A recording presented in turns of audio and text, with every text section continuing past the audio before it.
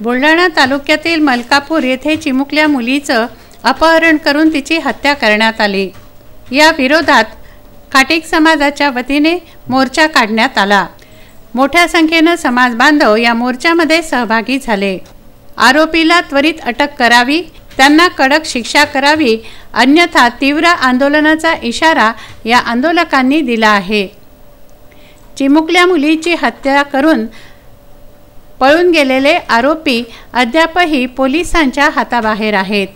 याचा निषेध आंदोलकांनी केला. हातात फलक घेऊन त्यांनी आपल्या मागण्या मांडल्या.